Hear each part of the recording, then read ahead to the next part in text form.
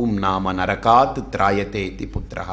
మీ నాన్నగారిని నరకానికి వెళ్ళనివ్వకుండా బ్రహ్మలోకానికి పంపడానికి నా కూతురు నన్ను మీ నాన్నగారిని తరింపజేస్తుంది. కాబట్టి నేనిచ్చే ఈ కూతుర్ని నీకోసరంగా వాడుకోకు సుమి నేను మీ నాన్నగారు తరించడం కోసం నా కూతుర్ని ఏలుకో అని అంటాడనమాట అది పోతుందనుకోండి పెద్దల దృష్టి రెండు. అందుకనే వీళ్ళిద్దరు కుస్తీ పడతారు. ఎవరికి ఇవ్వాలి ఏం చేయాలని వీళ్ళిద్దరూ తన్నుకునేది అందుకనే. ఎందుకని వీళ్ళిద్దరిని తరింపజేసేది వాడు రాబోయేవాడు. వీళ్ళు స్థిరంగా ఉండాలి. అందుకని పెద్దలిద్దరూ ఓ కింద మీద పడి ఎంక్వైరీలు చేసి అవి చేసి ఇవి చేసి అన్నీ చూసుకుంటారు. ఎందుకని వందేళ్ళు ఉండి వాడు పుట్టి ఆ తర్వాత వాడు ఉద్ధరింపజేయాలి ఎవరిని? ఇటు తండ్రిని అటు మామగారిని ఇద్దరిని కూడా ధరింపజేయాలి అది అతని యొక్క ఇది. జామాత అంటారు కదా ఎవరతను? అల్లుడు.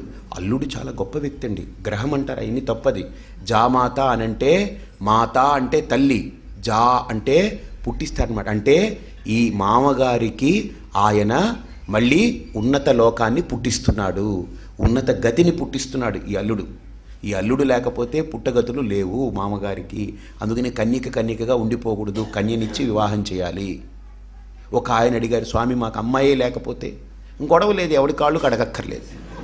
ఎవడు కాళ్ళు పట్టుకోక్కర్లేదు. ఒకవేళ అమ్మాయిలే ఉంటే ఎంతమంది కాళ్ళు పట్టుకోవాలో పట్టుకో ఇబ్బంది ఏం లేదు. ఏం చేస్తాం? ఎందుకని నిన్ను విముక్తుణ్ణి చేసేది వాడు. చూడండి అల్లుడు కన్యను తీసుకుని మామగారిని విముక్తుణ్ణి చేస్తాడు. మళ్ళీ ఇచ్చి పుచ్చుకోవడం చూడండి. ఈ కన్య ఆ ఆ భర్త దగ్గర నుంచి రేతస్సుని తీసుకుని కొడుకుని పుట్టించి వాళ్ళ మామగారిని ఈవిడు ఉద్ధరిస్తుంది. ఎంత అద్భుతమైన ప్రక్రియ. అల్లుడేమో మామగారిని ఉద్ధరిస్తున్నాడు. ఎలాగా? కన్యను తీసుకొని. ఈ కన్య ఏం చేస్తుంది? ఓహో నువ్వు మా నాన్నగారిని ఉద్ధరించావు కదా ఎంత గొప్పవాడివి. కాబట్టి నేను నువ్వు రేతస్ దాన్ని నేను ఒక కొడుకుగా ఉద్భవింపచేసి వాడిని పుట్టించి మీ నాన్నగారిని ఉద్ధరింపజేస్తానని. ఒకవేళ వీడు వాళ్ళ నాన్నగారిని రోస్ట్ చేశాను ఆహా మా నాన్నగారిని ఇలా ఉద్ధరిస్తావా? చూస్తాను మీ నాన్నగారిని నేను ఎలా ఉద్ధరిస్తాను చూడు. అంతకంటే ఎనిమిది రెట్లు చేస్తానండి.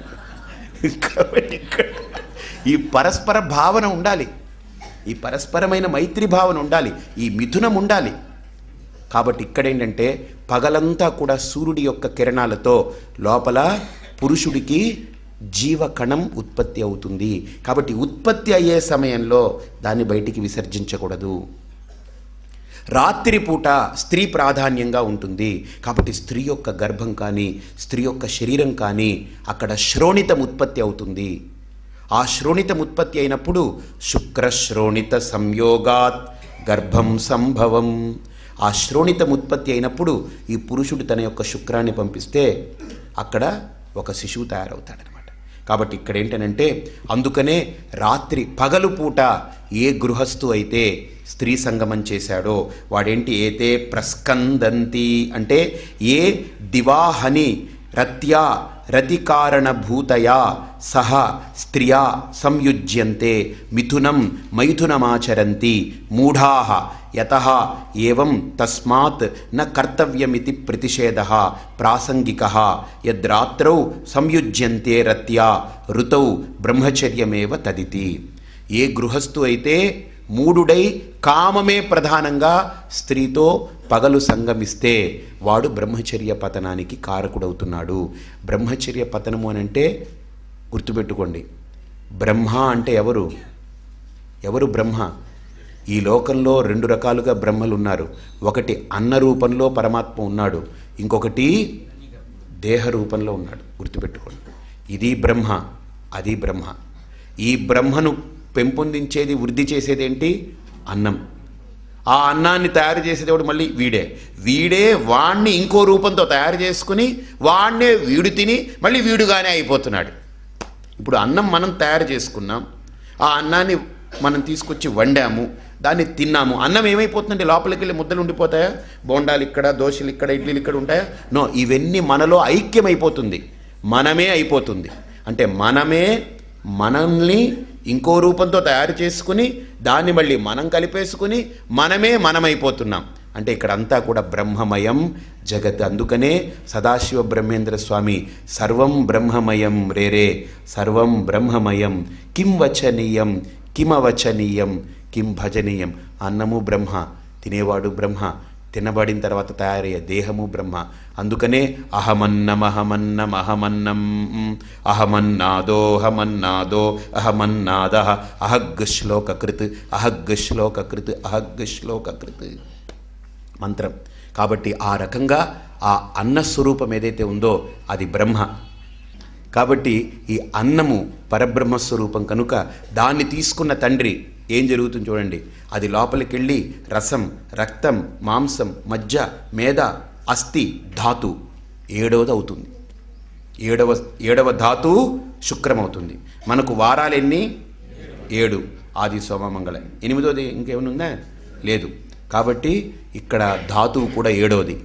అంటే ఏడవదైనటువంటి ధాతు శుక్రుడు. శుక్ర శబ్దానికి అర్థం ఏంటి? బ్రహ్మ.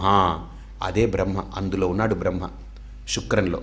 తదేతత్ శుక్రం శుభ్రం. ఆ శుక్రంలో ఎలా ఉన్నాడు బ్రహ్మ? కదులుతూ కదులుతూ సూక్ష్మంగా అలా కొట్టుకుంటూ ఉన్నాడు.